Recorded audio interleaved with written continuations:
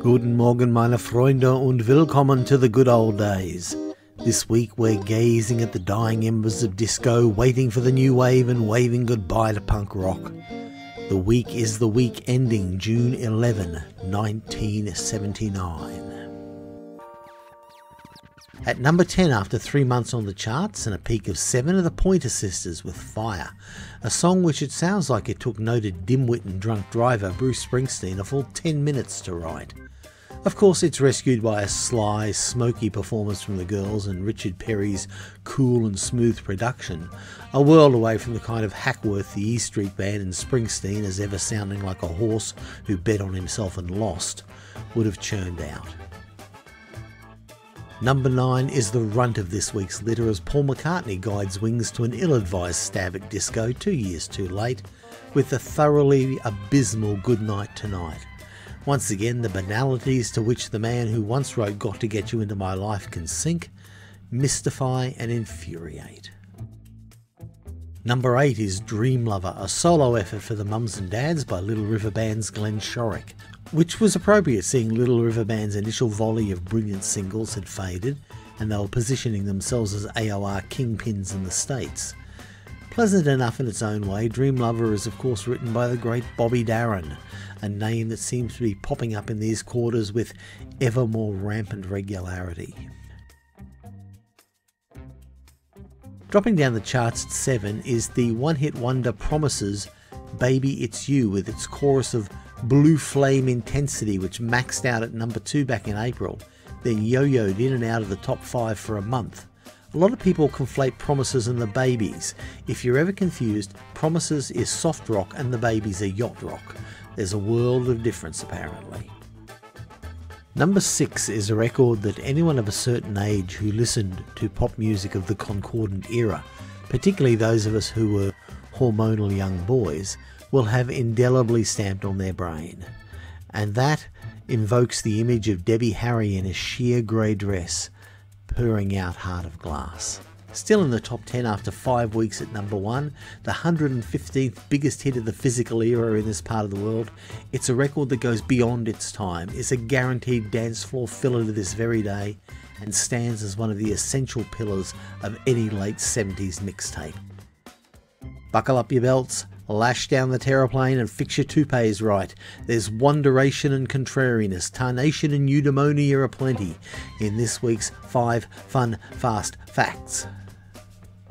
The big come up this week was Roger Voudouris's Get Used to It, which was up 30 places to number 39, largely on the back of 13 year old girls seeing him on Countdown the week before. Voudouris was an Andy Gibb light, not a bad singer by any means, but he sounds more like a rock singer than the bopping popster he's selling with this song, who'll always be remembered for his good looks, hence the 13 year old girls buying records, Cartier tank watch, unconvincing dance moves, and redder than red sweater. The biggest plummeter this week is the band that everyone thinks Promises were, Two hit wonders, the Babies, with their excellent Every Time I Think of You, down 16 to 35 after a peak of number 6, which seems unfairly low. Interesting new entries this week include Boogie Wonderland by Earth, Wind and Fire and Shine a Little Love by ELO, both which would go on to be ginormous hits. Number one in the USA this week with the Bee Gees, spending a lone week at the top with Love You Inside and Out, before Donna Summer annihilated them with hot stuff. In the jolly old UK, it was Sunday Girl by Blondie, which was the B side of Heart of Glass in Australia. At number 5, picking out this week, was one of the last dying embers of disco, Gloria Gaynor's I Will Survive. Already sounding a bit tired and frayed at the cuffs in 1979, its current enshrinement as a Mardi Gras camp sing along has meant it remains imposed on the cultural conversation and is unlikely to be removed anytime soon. Musically, it's an interesting song built in an ominous A minor and peppered with novel chords such as major sevenths, a killer E sus4, and a, and a baffling sort of B minor dealy which really tests Gaynor's voice at Made You Leave That Key and Hurt Me With Goodbye but the record just sounds out of date and is not due for re recording but recontextualization. Number 4 is one of those records where the singer is far more interesting than the song. which is the Love's theme from Prisoner. Prisoner was a soap opera which debuted in 1979 and was set in a women's prison, which isn't as sexy as it sounded. They made 692 episodes of this extremely cheap show in a mere seven years, seeing it serve for those seven years as a haven for really bad actors, and I'm sure some people who just turned up on the set and claimed to be actors, as well as established but slightly past their prime actors who were slumming it in order to make that month's car payment. Oh, but it's not the really interesting thing. The singer, Lynne Hamilton, was a veteran who toured with The Who, The Rolling Stones, Jimi Hendrix, The Animals, and was on first name terms with all the Beatles. She's emigrated to Australia in the early 70s and become a high powered businesswoman before getting into the God racket in the late 1970s. She claims God gave her this hit record so she could go out and tour and find an audience to preach to. God so far hasn't confirmed this. Imagine being down your local beer and rubber chicken club hoping to hear some soothing wuss rock. Wuss rock is softer than soft rock, and I totally made that term up. And stories about monkey shines with Moon the Loon, and instead hearing evangelical proselytizing between the medley of 19th Nervous Breakdown, the Acid Queen, and we got to get out of this place. None of this actually happened, I just got bored and went off on a bit of a tear there. But these days, one hit wonder Lynne is indeed a big wig in the Jesus biz with her own church based on the Gold Coast, and I'm most likely going to hell for this. Be seeing you. My goodness, didn't we cling tight to the dusty peak lapels of disco as the 70s crumbled away? Truth be told, records like this are kind of an evolutionary step away from disco towards the house sounds that would come out of Chicago in the next few years. Stewart is a talented and energetic performer who had a long and varied career as a singer and an actress, and nowadays is a UNICEF ambassador and long-time resident of Italy. The penultimate entry this week is Lene Lovich's delightful new wave bellwether Lucky Number. Said to be a major justification in John Lennon's mind as to the reason the world was ready to hear the vocal stylings of Yoko Ono again. Quirky, kooky, and several other adjectives I ordinarily hate to use, this was an absolute breath of fresh air on the charts. In a week where half the top 10 was made up by one hit wonders, Lene Lovich may just have had the best record of all of them. It never made number one, spending three weeks trapped at number two, a most undeserved point of notoriety.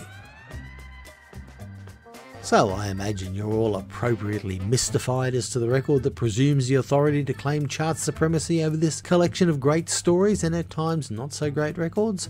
All will be revealed as soon as Gene plays us in. Do your thing, Gene. It's Lay Your Love on Me by Racey. There are a few things you can tell about this record just by looking at it.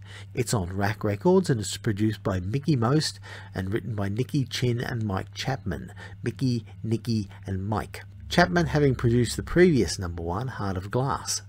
What this immediately tells us is the record is most likely to have that patent RAK record stomp, which it does in spades, and that brightly, slightly sped up mix that pushed out hits in the UK and Australia in a seemingly endless stream, which it does. It's sort of a guitar light glam rock, built on a familiar chassis but less top heavy. As Herr Levi would say, it's a French lasagna. You know what it is at heart, even if the dressings on top are different. A guacamole kebab. It's a banal song though, relying on a cheesy riff to create a party atmosphere, sped up to pump the excitement around a skillfully crafted chorus. But at around the 100 second mark, you've really heard all the song has to say. It's just turn around and repeat from that point, and it becomes rather tedious. That said, the song spent eight weeks at number one, to finally be deposed in mid July by the song at number 11 in this week's chart, Donna Summer's terrific Hot Stuff. Racey did then reclaim the number one spot in the first week of August with Some Girls. Lay Your Love on Me was still in the top 10 by that point, deposing Pop Music by M and it held on to number one for four weeks. Their next single, Boy Oh Boy, didn't make the top 10 and Racey Mania was over. And there we have it. One shot deals, legends in painful decline, an epic number one, and a bit of a void as there was no dominating trend or style for the charts to follow. It was an era of transition in which anyone, it seemed, could be a top 40 star as long as they stepped up and tried to fill that void. It echoed the past, pre Beatles, in a land where the past was already a foreign country.